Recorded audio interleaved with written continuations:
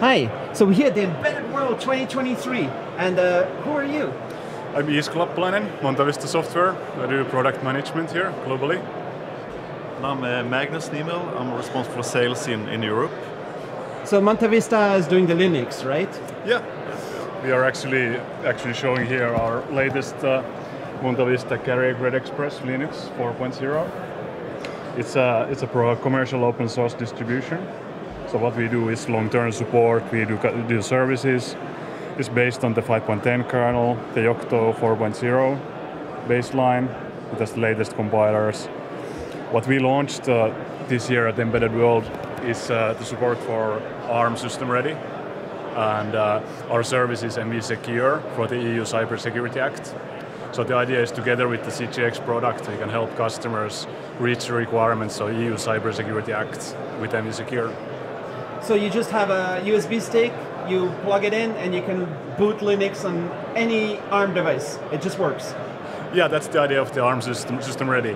In, in our case, because it's a Yocto-based, Stross-based distribution, it's a, we have a reference BSP. That is the idea of the of the system ready approach. You build that, and then you get to that point when you put the USB stick in and, and boot. So we're yes. right here uh, next to the Yocto booth right here. Uh, so how is it different to, to, to, to boot with the Montavista? Or what do you do to it? Compared to Yocto? Yeah, no, what do you, what do you, um, what is a specific, when people choose to work with the Montavista? What is it's, the consideration? Uh, it's the Linux expertise, it's uh, the, the support for long term. So sometimes customer require specific support, like they have uh, set response times, service level agreements, we can do support on the long term. We can maintain one branch for 15 years even. It's a carrier grade distribution, so it builds on Yocto, but it, uh, it's kind of a superset. We add commercialization, we add testing, field maintenance, features, real time. And when I look at your um, banner down here, um, you talk about 5G, IoT, uh, what is it, NFV? There's a bunch of stuff.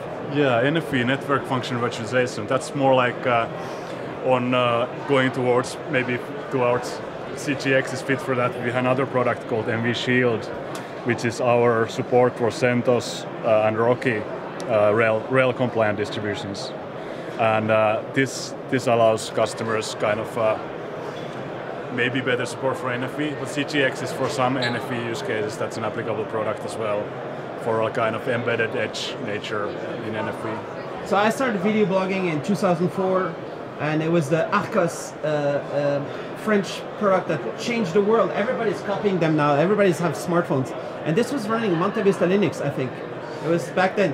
Uh, uh I think so. I can recall that particular product. Monta- Were you there? Montavista Linux. I remember the Archos product. Yeah. You, you would in 2004? Uh, 2007, unfortunately. But that yeah. uh, we, when in 2007 the Montavista Linux kernel was still running uh, in the majority of Linux phones, as far as I understand.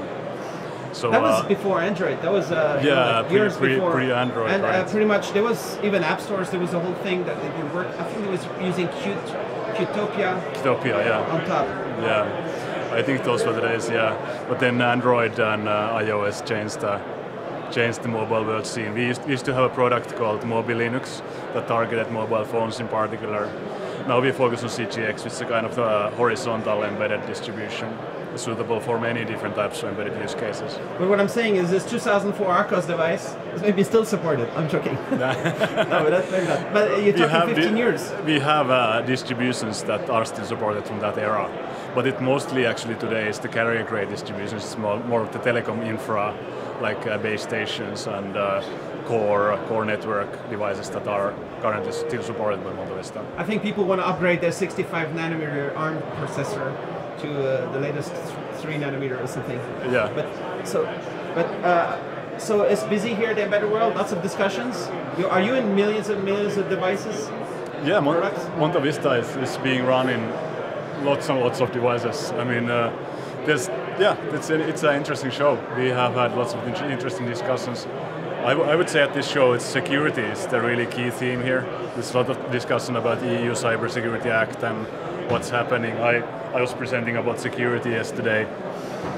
Uh, we, we can uh, put that up there on our website so you can see that as a video later if uh, readers are interested. But uh, that's that comes up a lot. A lot of people stop by the booth. They ask about like what can you do to help us with the security. So I think our announcement was pretty fit for that bill. When I look at the phone number, it's uh, American. So is it the U.S. It's a U- headquarters? It's a U.S. company. And but do you, are you around? You don't live in the U.S. or you No, be- I, I, I'm based in Finland, and uh, We have, we have offices uh, globally in different locations, so uh, Sweden, Finland. Uh, What's so- happened in Sweden, Finland? Then? It's, it's a lot of telecom uh, customers there, yes. So it's, All we are in um, all the base stations, for example. Uh, but we're also in South Korea, we're in Japan, uh, in India. But the headquarters is, is in the US, uh, San Jose.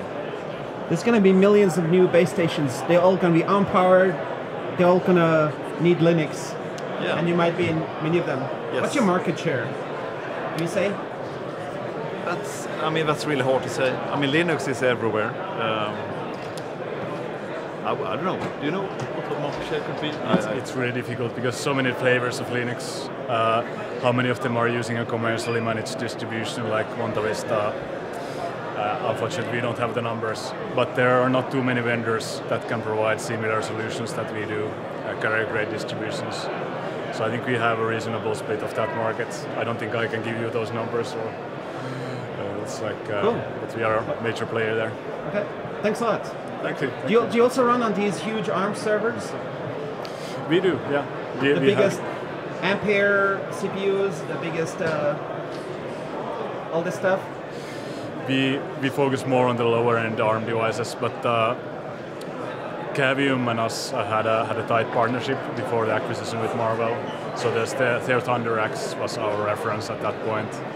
But we are we are looking into that market closely. Cool. All right. Thanks a lot.